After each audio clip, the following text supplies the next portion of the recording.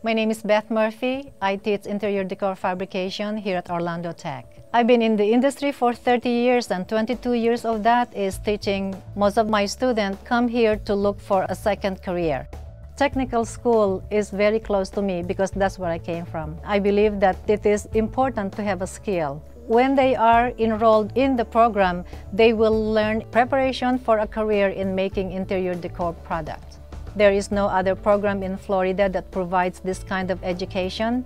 The students will learn how to fabricate from a simple pillow to cornice board, swags and jabot, bed skirts, cornices, headboards, and window treatments. It's a hands-on class. 90% of my students have their own business. When they finish the program, they are able to find clients. I have a former student that graduated the program and she called me after five years and telling me, Miss Beth, good news for you. She have her own business and she employed two former students. My students are successful.